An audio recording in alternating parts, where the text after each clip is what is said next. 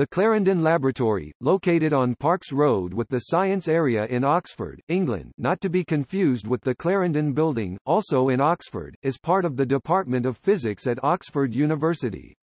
It houses the atomic and laser physics, condensed matter physics, and biophysics groups within the department, although four other Oxford physics groups are not based in the Clarendon lab.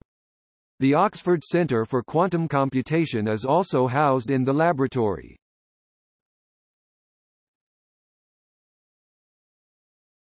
Topic: Buildings. The Clarendon Laboratory consists of two adjoining buildings, the Lindemann Building named after Frederick Lindemann, 1st Viscount Cherwell and the Grade II listed Townsend Building named after Sir John Seeley Townsend. A new Beecroft Building named after Adrian Beecroft is due to open immediately in front of the Lindemann Building in 2017, designed by Hawkins Brown, with a budget of approximately £40 million.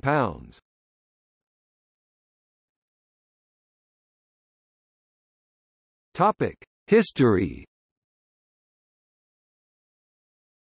The Clarendon is named after Edward Hyde, 1st Earl of Clarendon, whose trustees paid £10,000 for the building of the original laboratory, completed in 1872, making it the oldest purpose-built physics laboratory in England.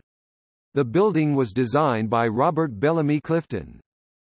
The brothers Fritz and Heinz London developed the London equations when working there in 1935. In 2007, the laboratory was granted chemical landmark status.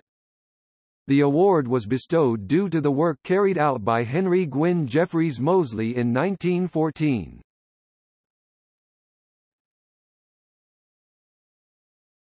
Topic: Current use The original building, substantially enlarged, is now part of the Oxford Earth Sciences Department. The Oxford Electric Bell apparatus also known as the Clarendon Dry Pile, constructed in 1840, is located in the foyer of the Clarendon Laboratory.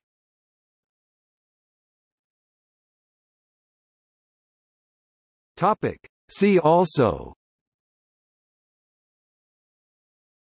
Denys Wilkinson Building, another Department of Physics building. Department of Physics, University of Oxford